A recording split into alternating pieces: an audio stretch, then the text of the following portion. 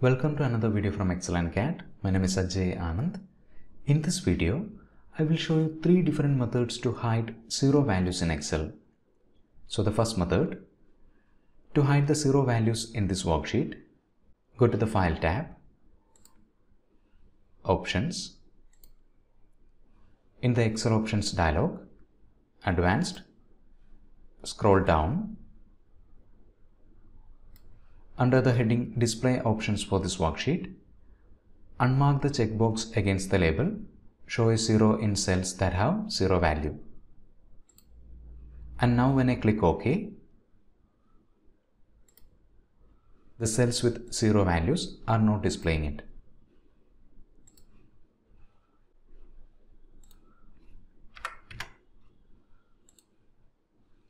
The second method is using conditional formatting. Select the cells containing data. In the Home tab, Conditional Formatting, New Rule. Format only cells that contain cell value equal to type in 0. Now we have to define the format for cells containing 0 values. Click on Format. Select white color from the list of colors. Because when we use white font color for cells with white background, that text will not be visible. White. OK. Once again, click OK. See the cells are now displaying zero values.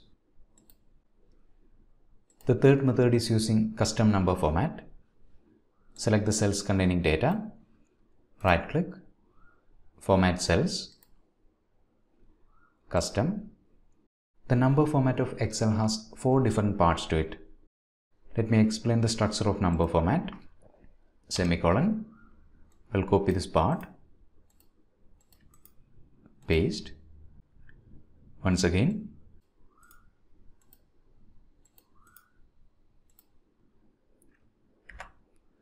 This is the structure of number format in Excel. The first part is to control how positive values will be displayed. It is followed by a semicolon. The second part controls how negative numbers will be displayed. Again a semicolon.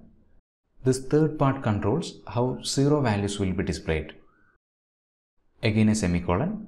And the fourth part controls how text values will be displayed.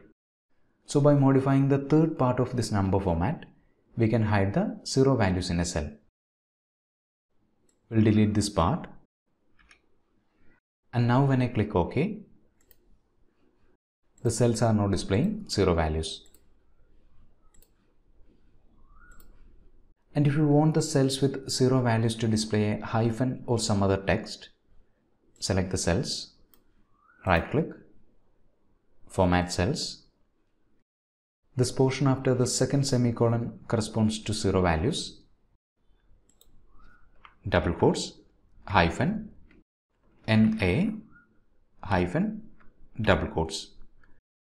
And when I click OK, the text inside these double quotes will be displayed in the cells with zero values. Okay.